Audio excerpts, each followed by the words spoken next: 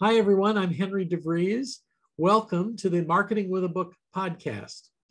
So, I run a company called Indie Books International. We work with the ABC, agency owners, business coaches, and consultants who want to find new clients by marketing with a book and a speech. And we have just one of those people with us today, a very special one, Dr. Carrie Johannson, author of the book Self Help on the Go. How are you today, Dr. Carrie? Hi, Henry. I'm great today. I'm so happy to be here. Thank you so much for joining us. Our, our topic today, we call it uh, How to Manage Client Emotions. It's really about therapy for non therapists. what I hear regularly from the agency owners and the business coaches and the consultants is, is sometimes we have to be like therapists to our clients, and we're mm-hmm. not trained therapists. Uh, and I'm not talking about their personal problems, their marital problems, or financial problems or things like that. But um, for a business owner, a solopreneur or a small business owner, this is so personal and it's so important to them. And uh, fear enters into the picture. We like to say here, fear never sleeps. So, would love to get some tips from you on how these non therapists can apply some therapy skills. Absolutely. And part of it is managing people's emotions because when people's emotions are heightened and really strong they tend to sort of spill verbally. And then if you're on the receiving end of that and don't have good training it can feel really overwhelming really quickly. It feels like today and please verify this or if you disagree tell me but the automatic go-to position for clients are well you're wrong it doesn't matter that we had an agreement or an expectation, but you're always the the other people are the wrong people. Do you feel that way? Absolutely. And it's been something that I've been talking a ton about, especially in the last several years, is we are really facilitating on a very grand scale, particularly in the United States. I can't speak to how this is playing out across the world, but particularly in the United States, we've really gotten into what I call victim culture.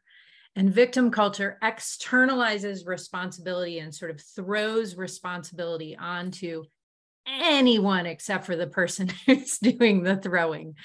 And um, and it's it's sort of shocking sometimes. It's also very frustrating. And frequently it doesn't feel very fair. So, Henry, one of the things you talked about is, but I had a written contract. It's all spelled out ABC. It should be clear and the client will come back and say well i saw that but i thought you meant this or i saw that but i still had this expectation. And so that lack of clarity combined with that externalizing of responsibility can really feel very like big in the moment and also can sometimes cost you relationships and cost you deals in ways that feel confusing and upsetting.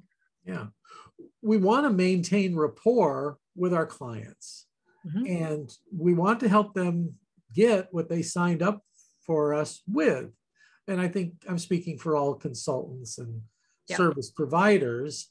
Um, but sometimes people justify their actions. Uh, how is that working in their mind? Well, oftentimes it's guided by fear. So if you're afraid, particularly if you're afraid that you've lost something or that you've done something wrong, it's a lot easier to pick on someone else than it is to to look at yourself and to look at your ownership and responsibility in a scenario.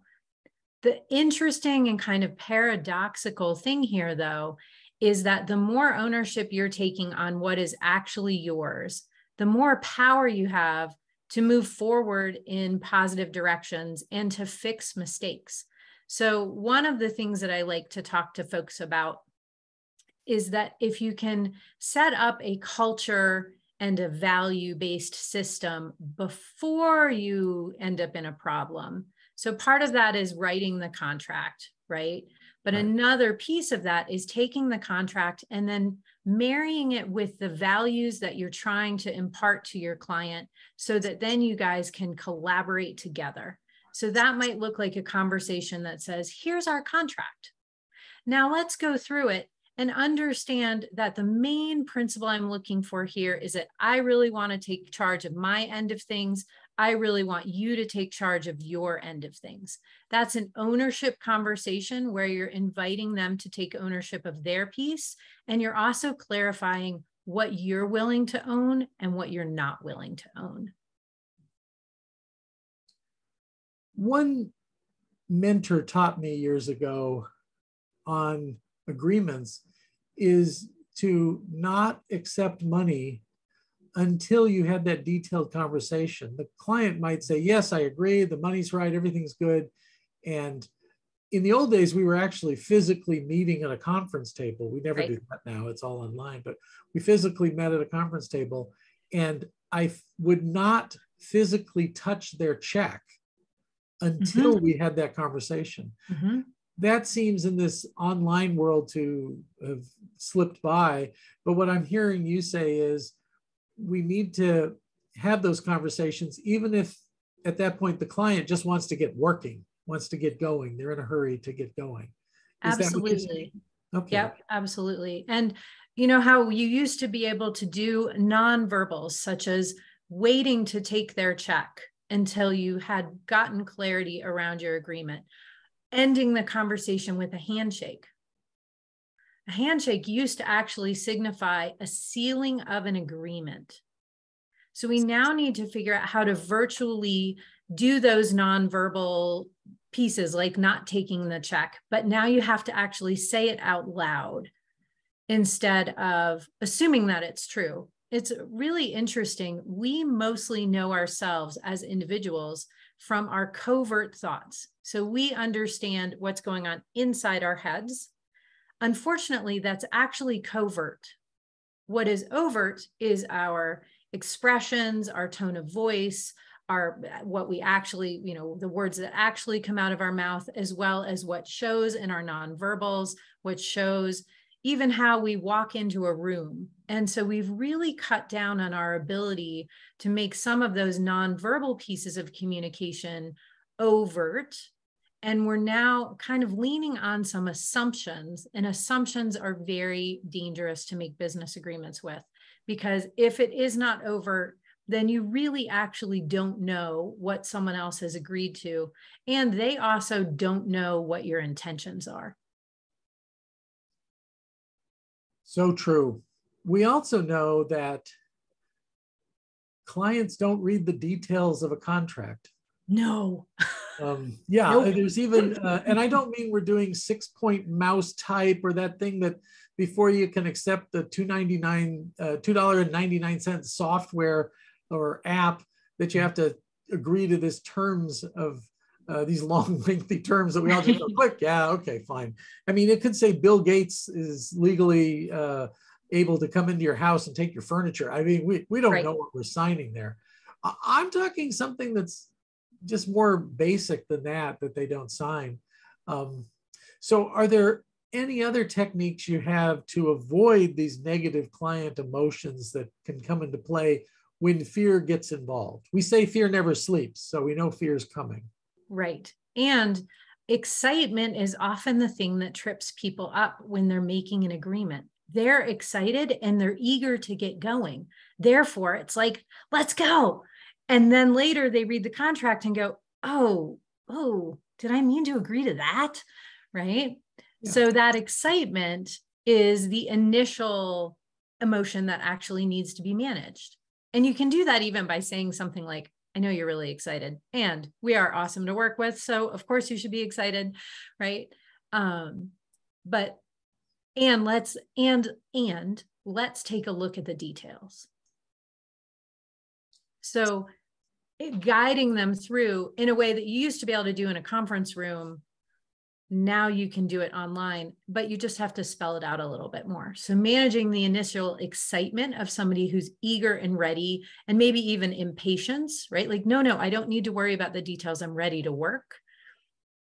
And label it right? I know you're ready to work and let's make sure to go over the details so we're clear on what on what's mine and what's yours and how this and how this unfolds over time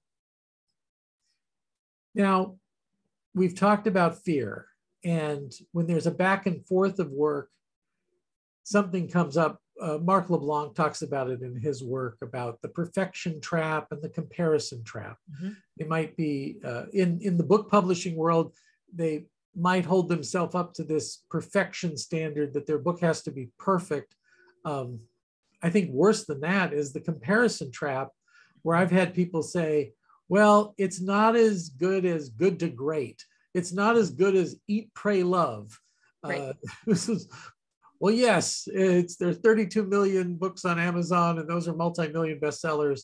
Um, but somehow in their mind, that stops them, and we don't know how to bring up. Well, there's something called the good enough point, or mm-hmm. uh, you know, good to great. We just could your book just be great, but doesn't have to be the greatest book of all time.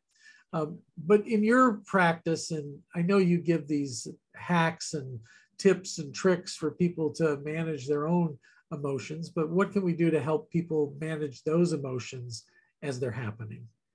Well, I think part of it is understanding that there's a couple of different types of fear that come up. And one of the biggest fears that underlines underlines human performance is the fear of I'm not good enough. Right? And that shatters in the back of people's minds in all sorts of different ways. It can be as obvious as I'm not good enough. It can also be I'm not as good as Brene Brown or Eat, Pray, Love or Good to Great. And so just knowing and understanding that that might be a piece of what you're dealing with. And then there's acute fear, which is when someone's missed a deadline or they feel like something isn't going the right way. Then that's going to be a spikier emotion to deal with. And that often comes out like anger. And if you can get to the fear underneath, like, so what are you worried about? What's what's the thing that you're concerned about? If you can get underneath the anger and that initial lash out reaction, that can get you some really good traction.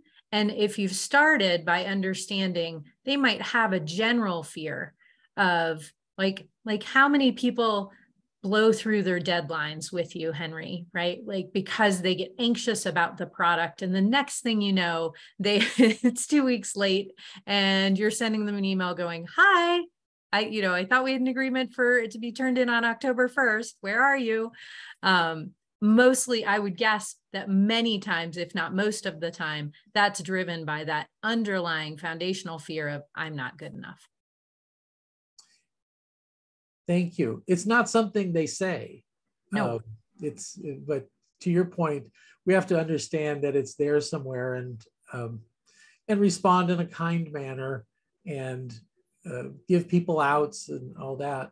Um, in other fields like financial services, when you're talking about money, people can be very fearful and anxious. And um, yes. one uh, author used to call it head trash. They have a lot of head trash when it comes to money. um, what's been your experience in helping people in those realms? Well, I think people get a lot of head trash in certain areas. So, finances is a great one to get head trash about. Appearance is another one to get head trash about, both how do you look personally, and then how does your product look out in the world. Um, and then people get head trash from old things, right? Like if they were told when they were young that they weren't very smart, you'll hear that in conversation. Like, well, you know, I'm not the smartest guy in the room, but blah, blah, blah. That's actually a window into their head trash.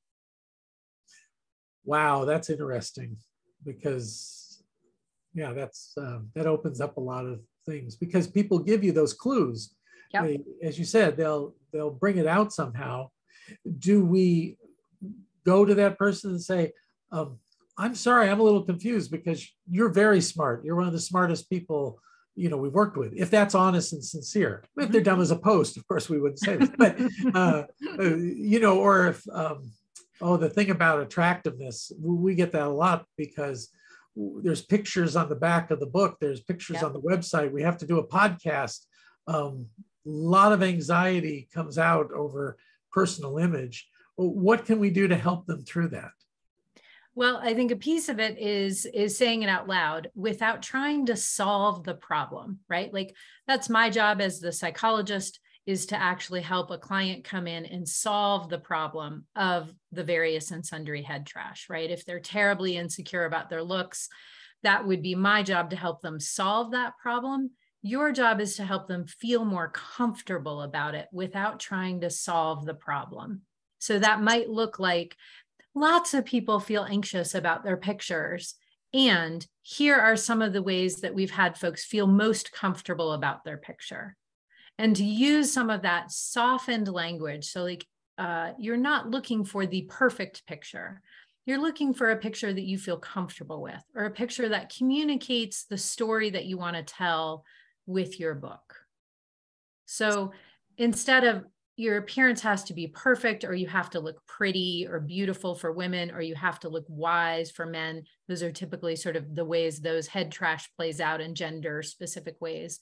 Um, but so using some of that softer language around being comfortable, being good enough, getting to 80% uh, instead of 100%. Those are all ways to soften those problems without you taking on the obligation of solving those problems. I think that's great. We we have to help them through their challenges. We don't solve their challenges. Mm-hmm. Um, so going from there, any specific tips about talking about money? because we talked about head trash and people are very sensitive. Um, one client invited me to their home. So their office was in their home and they had a home office and she has a she had a couch and she was sitting i was in a chair she was sitting at the end of the couch next to me um, she initiated the conversation about money a half an hour in she was all the way at the other end of the couch her knees were pulled up and hold. And I thought, I'm not a therapist, but that looks like the fetal position. Uh-huh. This uh, looks like a trauma response. Yes. Oh my gosh. Uh-oh, what have I triggered here? So any tips we have for dealing with conversations about money?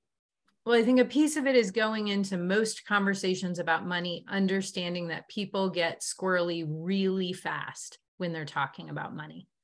Their insecurities come up quickly. Their bravado comes up quickly. I mean i know we're talking a lot about fear but sometimes fear manifests as this big puffed up chest kind of presentation instead of the like oh no am i good enough? presentation. Um, so just starting from a platform of understanding that people struggle talking about money and as soon as you see the struggle is trying to label it and maybe even labeling it before you start. I know talking about finances can be intimidating, or I know talking about the financial piece of this might not be your favorite. Something that is sort of a lead in to a common ground where you can both agree that talking about the finances might be tricky. And then from there, when you see something, especially if you're getting to watch some of those nonverbals, like that client was giving you a ton of overt information that finances were very difficult for them to talk about. So as soon as you notice some of those, uh, you know, all of a sudden their posture is they're backing up, right? Or they're starting to get red or sweat or they get defensive. It's like, then bringing it back to I know talking about finances is hard. And this is a critical piece for us to make a great relationship. So, talking about the benefit to working through the financial piece of things sometimes is a great way to help with that. Um, are there other sort of specific scenarios that I could deconstruct for you? Well, those were great. Uh, when you're a business coach, talking about the numbers mm-hmm. and um, the numbers and the money, and sometimes the defense that people throw out is, oh well this is not all about the money. I, am not about the money. Mm-hmm. i'm about helping people. This is about you know having more impact and influence. Um, and having to bring up that well if you don't get the money right mm-hmm. you're not going to be around to have impact and influence. Exactly. so any strategies when it's about that well this is where i like using a strategy that i call both and communication and this is where you're essentially helping someone accept that reality is on board with their life, right?